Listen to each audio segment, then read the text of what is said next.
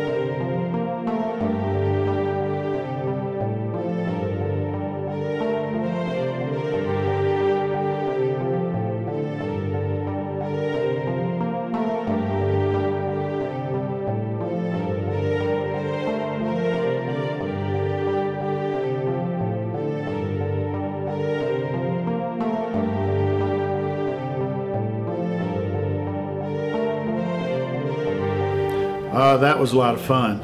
I actually spend more time mixing the colors and shaping the brush than I do actually putting the paint on the illustration board.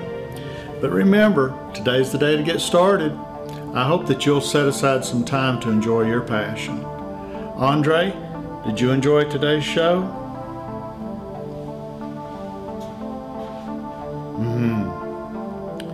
He has a short attention span, but I still think he liked it.